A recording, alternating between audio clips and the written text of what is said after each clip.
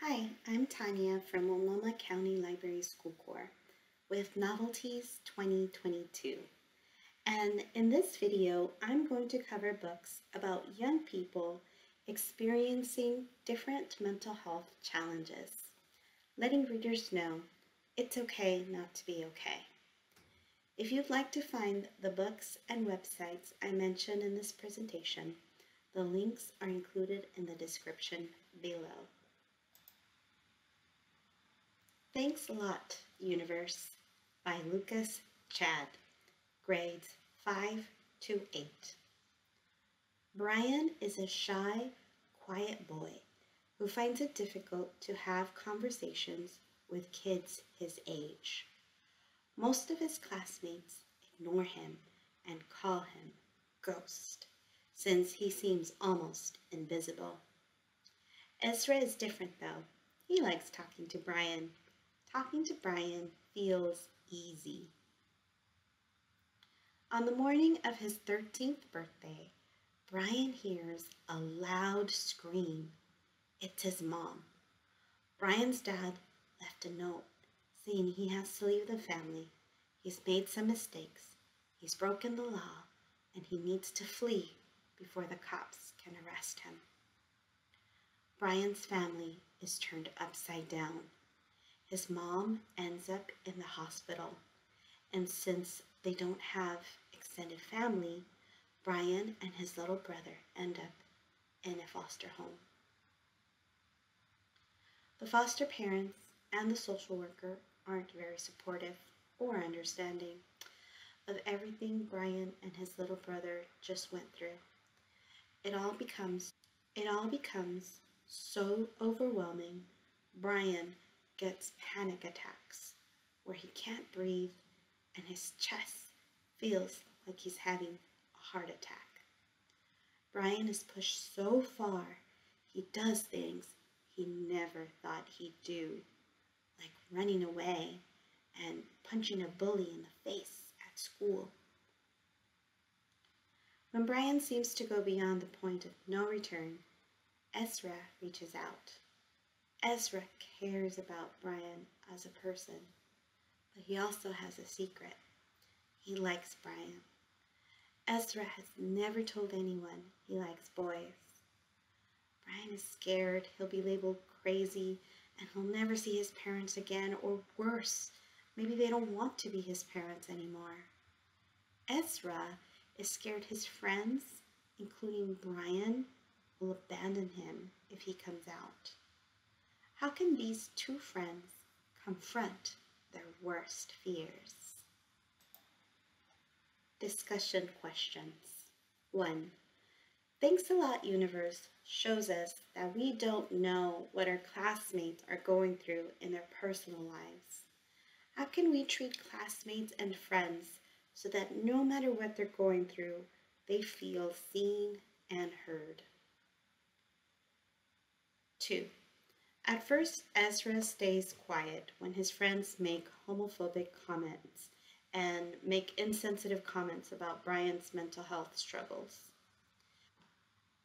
Later, Ezra does speak up. What makes it challenging to speak up when family and friends say hurtful things about people and circumstances they don't understand? 3. Brian has anxiety and even experiences panic attacks. The CDC reports that mental health challenges amongst kids and teens have been increasing in recent years. What are some ways we can take care of our mental health and help others do the same? Here are some websites um, for further exploration. One, learn how we can make school a safer place for LGBTQ teens through the Trevor Project. You can also explore many supportive resources the Trevor Project provides. 2. KidsHealth.org offers many resources for teens to maintain good overall health. Check out their Healthy Mind resources. 3. Watch this video to learn about Michelle Voorhees' experience as a child who was in foster care. Brian's experience will make a lot of sense after watching it. Stuntboy in the Meantime by Jason Reynolds, grades 2 to 7. Portico Reeves, aka Stuntboy, loves living in a castle, which is how he thinks of his apartment building. He knows just about everyone in the building, including his neighbor and best friend Zola. And he likes just about all of them, with the exception of Herbert Singletary, the worst, who's a real bully. When Portico's parents announce they will soon be living in two apartments and start fighting over dividing up their possessions, Portico gets the frets, which is what he calls his anxiety. He and Zola deal with this by imagining themselves as superheroes in their favorite TV show, Super Space Warriors. When Portico finally figures out what's going on with his family, he feels split in two. But his friends, including Herbert Singletary, who turns out to be not so bad after all, help him get through. This book is an awesome combo of chapter book and full color graphic novel. Just Roll With It by Lee Dufay Levois, grades 3 to 6. There are so many things about starting middle school that worry Maggie. Will she be able to make friends? Will she be able to find the right school club? Will she measure up to her older sister, who is an extremely high academic achiever? Maggie relies on her 20-sided die to help guide every decision she makes, and she follows many rituals that ease her worries and fears. Fortunately, Maggie easily connects with Clara, and the two become best buds. With encouragement from Clara, Maggie finds joining the school's role-playing club is a lot of fun. Though she's able to work through some of her concerns and she has moments of fun with friends, new routines, bullies, constant worry, and anxiety plague Maggie. Maggie's supportive family suggests she try therapy. Reluctant at first, Maggie decides to give therapy a try and finds that it's helpful. The Golden Hour by Niki Smith, grades 4 to 7. Everyday life is challenging for Manuel after he witnessed a brutal attack while in school. He experiences panic attacks and sometimes memories of the event seem to come out of nowhere, completely disrupting his life. Manuel finds that his photography hobby helps him stay in the present moment and eases his anxiety. Manuel is partnered up with classmates Keisha and Sebastian, and to his surprise, they turn out to be pretty cool friends outside of school. He finds comfort in spending time with them and being part of their activities and interests like joining them in preparations for the local county fair. Gradually, he opens up to his friends about his experience. Sebastian, in particular, just seems to get him, and eventually a light romance ensues between the two. Therapy, new friends, and photography help Manuel feel a sense of healing. Contrasting light and dark colors in the artwork help convey Manuel's emotions. Living with Viola by Rosena Fung, grades 4 to 8. Do you ever have negative thoughts that make you doubt yourself? This happens to most of us every now and then. But for Livy, this happens to her constantly. She has a shadowy twin that constantly reminds her of her flaws and makes her doubt herself in everything she does.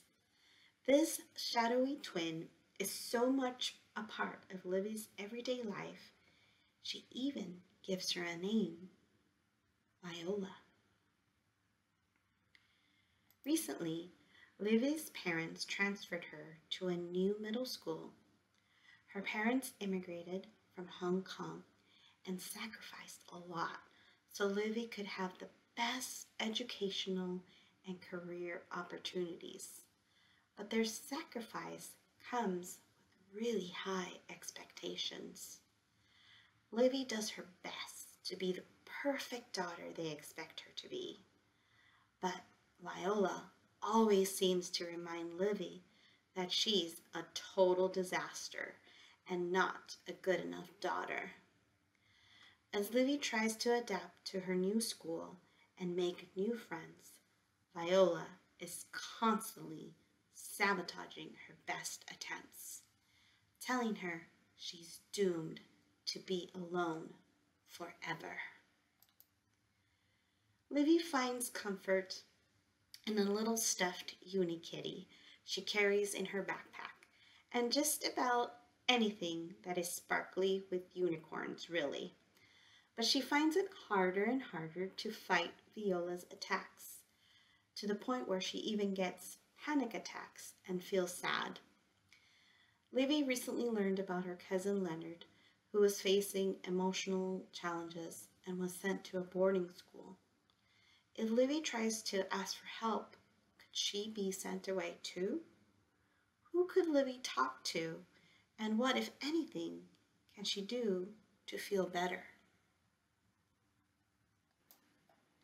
10,000 Tries by Amy Makechnie, grades 5 to 8. Golden has become accustomed to working hard to beat the odds.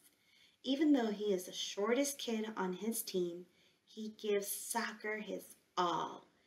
He's quick and committed to being the best. Golden firmly believes 10,000 hours of practice leads towards mastery. So he intends to do just that, to reach mastery of the game like Lionel Messi. This is his last year to lead his middle school team to the championships as team captain. He's got two talented and skilled coaches on his side, his mom and dad, who are admired high school soccer coaches. One of them even played professionally. It seems that as long as Golden works hard, the odds are very much in his favor. Except there are some significant challenges taking place in his personal life. Golden's dad has been diagnosed with amyotrophic lateral sclerosis, also known as Lou Gehrig's disease. His dad's muscles are slowly deteriorating and he's dying before his family's eyes. Golden's best friend is also moving to a new city. Believing that hard work and a positive attitude can overcome even the greatest odds, he is determined not to lose his dad and his best friend. Experiencing some wins and losses on the soccer field and his personal life, Golden learns about love, family, death, and grief. Down below the video, you will find a link to the full list of titles from this year's Novel-Ties videos. Links where you can watch our other school corps presentations and a link to book discussion tips from Multnomah County Library. Finally, you can also find out more about School Corps by following the link below.